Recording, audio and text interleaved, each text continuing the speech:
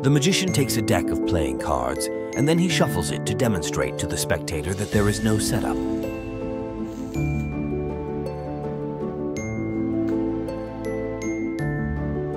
Then he spread them on the table and asked the spectator to select three random cards.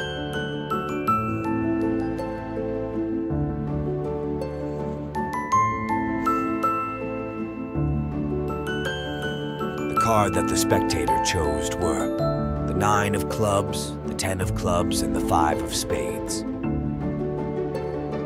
Then he starts to make four piles of a random number of cards.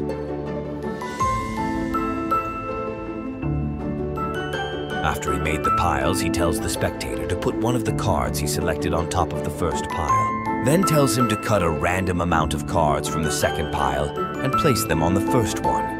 Then he tells him to do the same thing with another card in the third pile.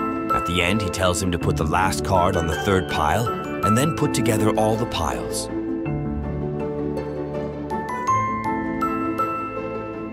Now the magician starts to deal one card face up and one card face down and tells to the spectator to say, stop, whenever he sees one of his cards.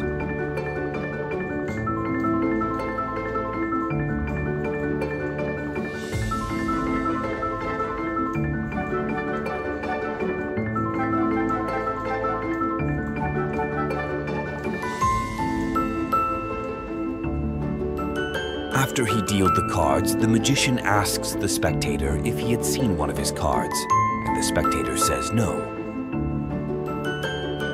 The magician starts again to deal one card face up and one card face down, and also this time asks the spectator to say, stop, if he sees his card.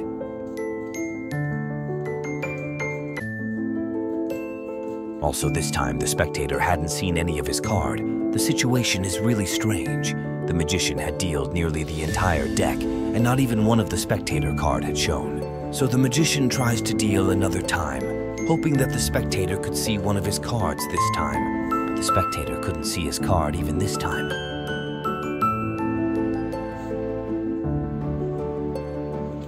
Few cards are left, and the magician deal them another time, hoping that is the right one.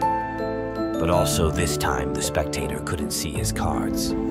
The magician dealed all the deck, but the spectator couldn't see even one of his cards, and he is left with only three cards. Then the magician flips the remaining three cards. The spectator is speechless. The three cards were his selections.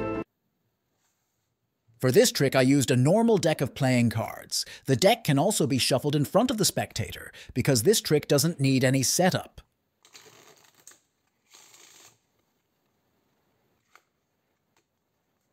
After you shuffle the deck, you have to make the spectator select three cards, or if you have three spectator, one card each.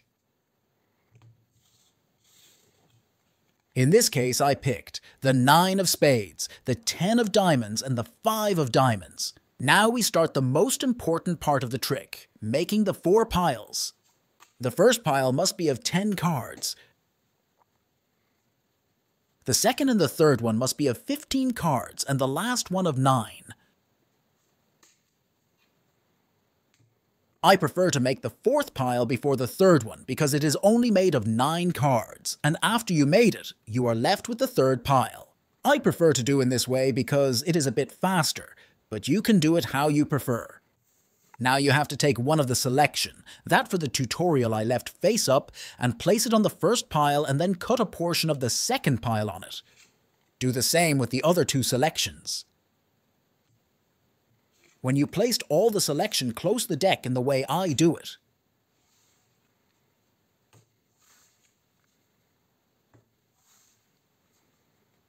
After that, you have to deal one card face up and one face down.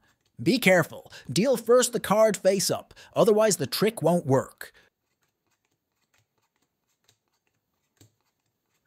As you can see, the spectator selections will be always in the face down pile.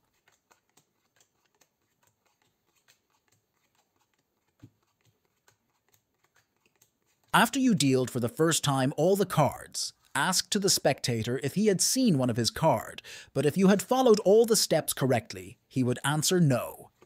Then deal the cards for the second time, and also this time deal first the face-up card, and then the face down. Also this time asks to the spectator if he had seen one of his cards, but also this time he would answer no. Then deal the cards for the third time, but this time deal before the face down card, and then the face up.